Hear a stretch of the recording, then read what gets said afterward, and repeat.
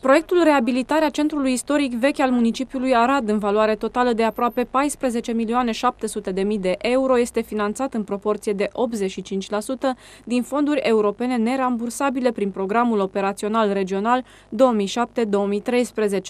Scopul proiectului este reabilitarea și valorificarea durabilă a patrimoniului cultural istoric și modernizarea infrastructurilor conexe.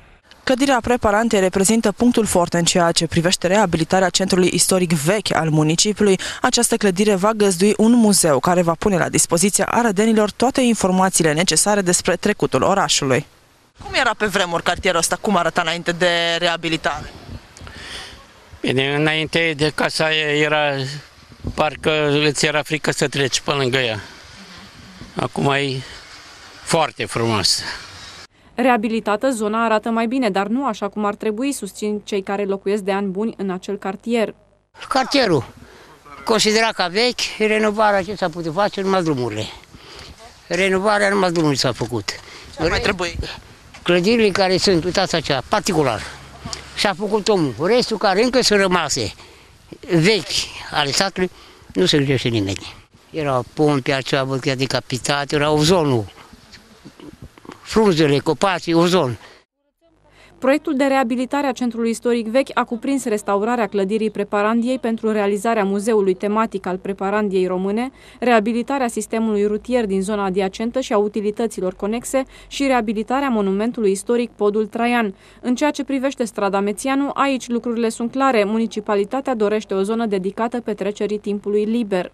Primăria Arad are planuri mari pentru strada Mețianu. Această stradă, de altfel pietonală, se dorește a fi un loc de promenadă pentru arădeni sau, dacă aceștia au timp, să servească o cafea sau un ceai la una dintre terasele care vor fi amenajate. Și pentru a stabili ca la carte acest lucru se lucrează la o strategie. Amenajarea ca pietonal a străzii Mețianu uh, se află în uh, fază finală în ceea ce privește uh, lucrările.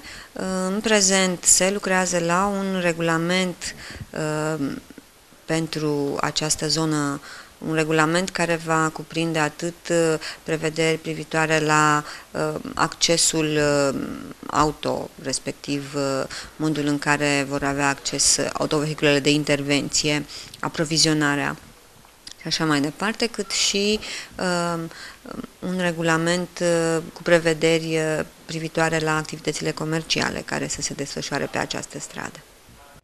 Astfel, până la primăvară, această zonă va putea fi catalogată drept o zonă pietonală cu acte în regulă.